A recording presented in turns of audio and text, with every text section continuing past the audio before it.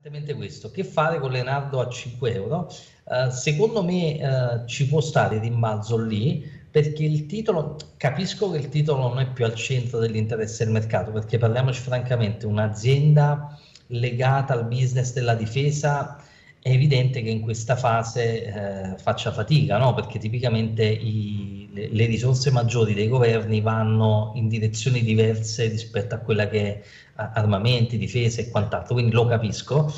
però il titolo ha perso metà del proprio valore da inizio anno e anche qui non mi spiego tanto, tanto questa, questa reticenza che ha il mercato a comprare Leonardo. Secondo me non c'è tantissima fiducia nel management, non,